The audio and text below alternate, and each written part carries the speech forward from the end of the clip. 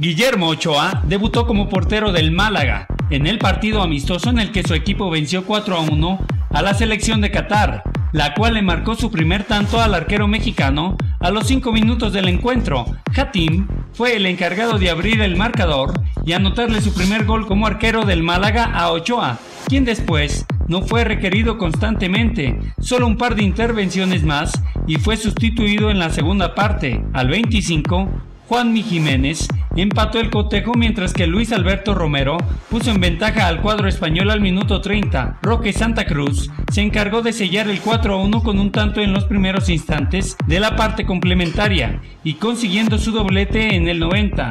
México Explorer